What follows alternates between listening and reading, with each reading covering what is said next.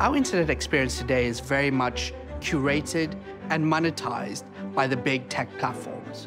The promise of Web 3.0 is that this will allow the internet to be much more democratized, decentralized, and it will give much more ownership to users, developers, and allow for the entire ecosystem to become more robust. The development of Web 3.0 has really been supercharged by the emergence of blockchain technology. Blockchain technology has allowed the ability for verified and unique recording of digital assets. What is a digital asset? A digital asset is a sense of intellectual property that is uniquely identified on the internet.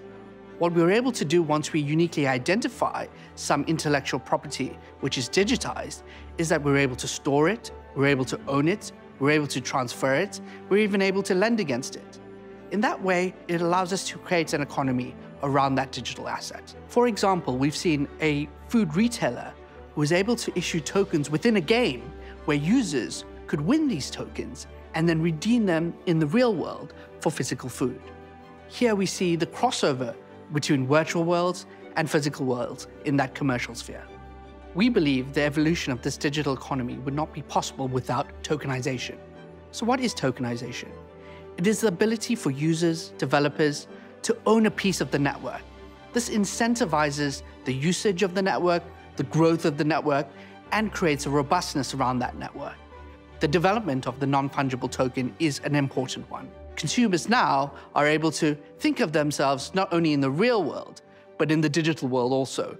In retail, we see sports goods companies wanting to issue digital sneakers and consumers finding that a way to express their creative digital selves.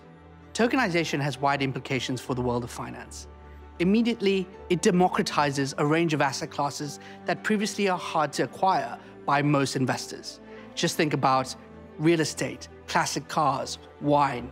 All of these assets can now be tokenized and traded in a liquid way that means lower costs and more transparency.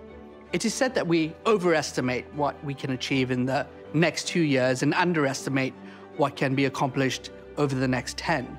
And the Web 3.0 world is no different. We expect there to be booms and busts in this marketplace too. Throughout history, technological advances such as the railroads or the first internet boom laid down the foundations for a truly transformative economy.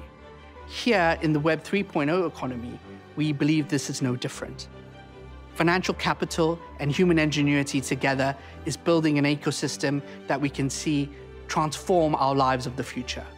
And as investors, that's incredibly exciting. To learn more about our analysis, please go to our website and read our secular outlook.